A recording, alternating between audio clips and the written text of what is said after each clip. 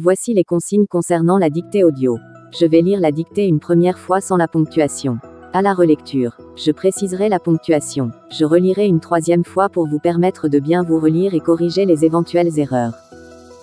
Consigne concernant la correction de la dictée audio. Après avoir écrit ta dictée audio, envoie-moi un mail à toncoachacademia.gmail.com.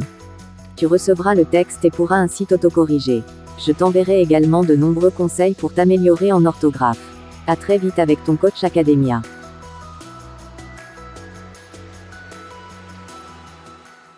L'air était froid, les arbres, sur lesquels commençait à poindre la faible verdure de mars, frissonnaient au souffle des dernières bises de l'hiver, et un sombre brouillard s'épanchait sur la contrée à mesure que les rayonnements du soleil couchant s'éteignaient dans les nuages empourprés de l'horizon. Bientôt, le ciel devint obscur, et des rafales passant sur la forêt présagèrent. Une nuit orageuse, l'air était froid, point virgule.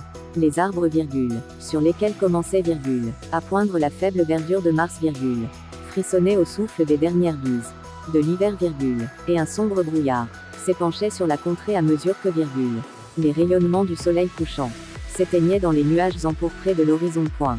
Bientôt, le ciel devint obscur, virgule, et des rafales passant sur la forêt présagèrent. Une nuit orageuse, point. L'air était froid, les arbres, sur lesquels commençait à poindre la faible verdure de Mars, frissonnaient au souffle des dernières bises de l'hiver, et un sombre brouillard s'épanchait sur la contrée à mesure que les rayonnements du soleil couchant s'éteignaient dans les nuages empourprés de l'horizon. Bientôt, le ciel devint obscur, et des rafales passant sur la forêt présagèrent.